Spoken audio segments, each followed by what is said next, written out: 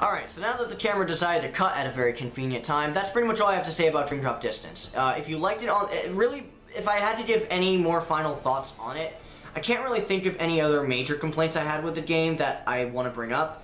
I, of course, I could bring up minor complaints, like how bosses still don't stagger, and how the boss fights are not the best, and, and stuff like that. But honestly, again, I want to give it its own video. I feel it deserves it. So, moving on, uh, final statement on DDD for this video. If you like the 3DS game, you're going to love the HD touch-up. Uh, because it really does a great job polishing the game. Uh, so that's really awesome. Uh, if you just want to play it again to experience the story, it's also great. Uh, if you've never played Dream Drop Distance because you never own a 3DS, uh, then it's also great. Though I would recommend picking up a 3DS. Not so much for Dream Drop Distance on the 3DS now. I, would more recommend it for other games like Kid Icarus Uprising and Smash 3DS and uh, Pokemon Sun and Moon and heck, even X and Y and Omega Ruby Alpha Sapphire and Luigi's Mansion. Now let's talk about what everyone's here to talk about, Kingdom Hearts Chi back cover.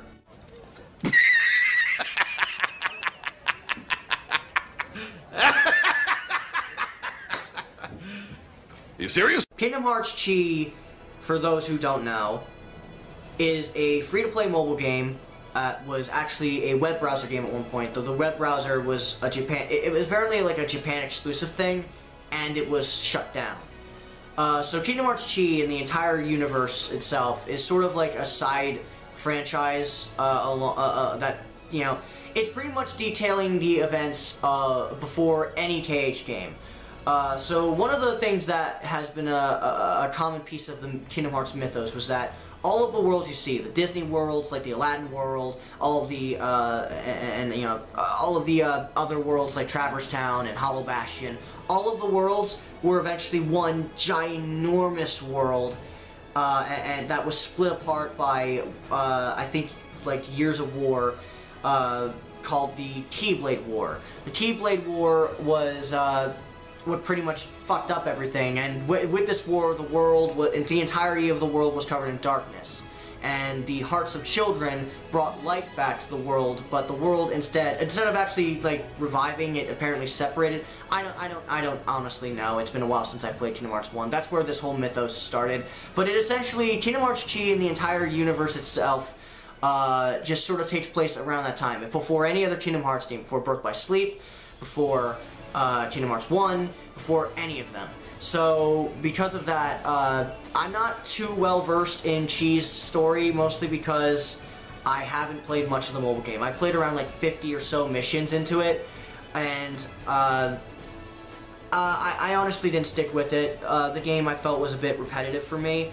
I, on small bursts, I'm sure it's fine. In fact, that's when I was playing it at small bursts because uh, when I was trying to play it in large portions to get behind the story, I just, I, I, I, didn't really get anywhere with it, and I just sort of stopped playing it. Uh, but overall, it's not terrible. I mean, I guess it's the best app game I've played, but that's not really saying much. I'm not really into mobile gaming. Uh, but if you're into mobile gaming, I guess I would recommend it. And for KH fans, I guess I recommend it too, since it does seem to be relatively popular. Though I will say the little chips that you can get are fucking expensive. Seriously, what the hell, Square?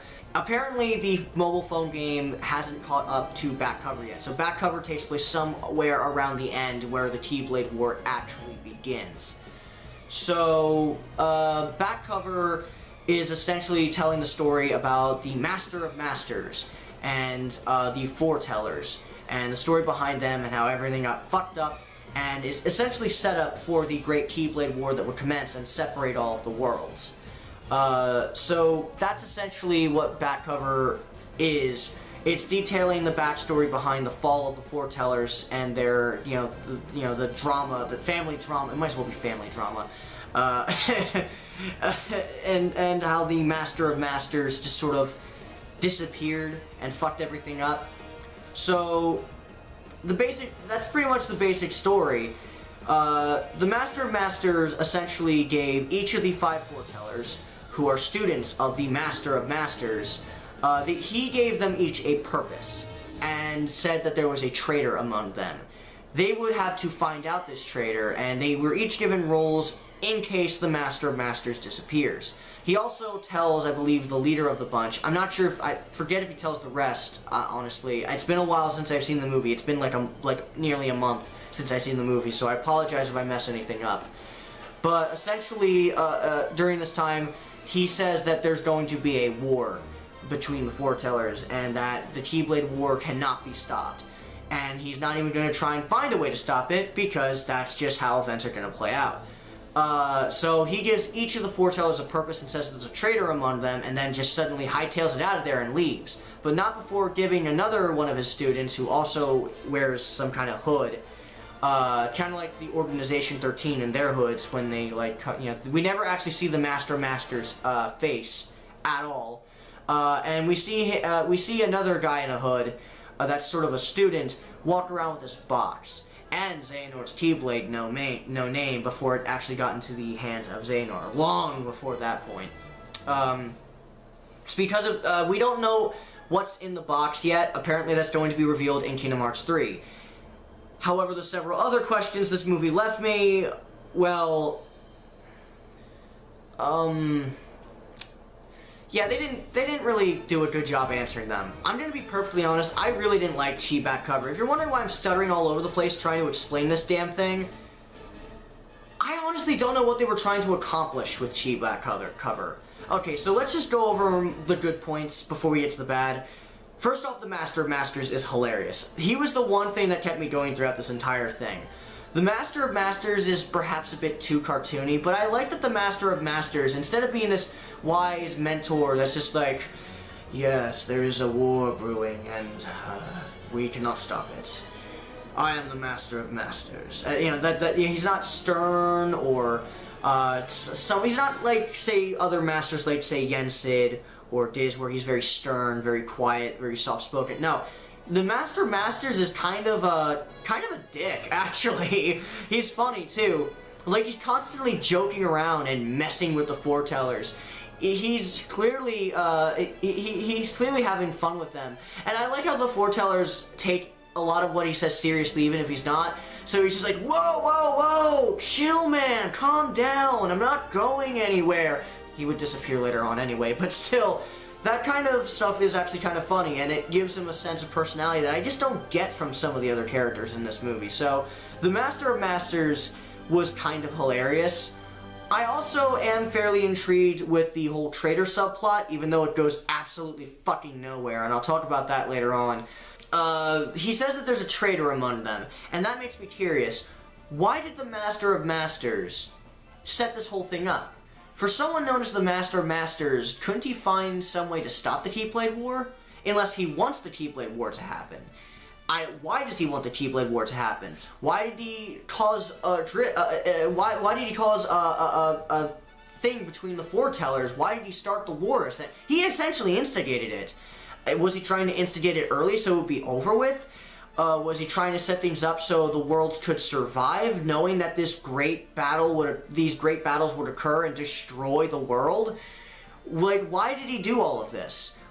What, how, how did he know that there was going to be a war? Why did he essentially instigate the war? Who was the traitor? Who did, how did, why didn't he find the traitor himself and take care of it? There are so many questions, but that's also my biggest issue with this movie is that most of the questions about the Master of Masters, the most interesting character, are not answered. Where did he disappear to? Why did he disappear? Was he the traitor the entire time?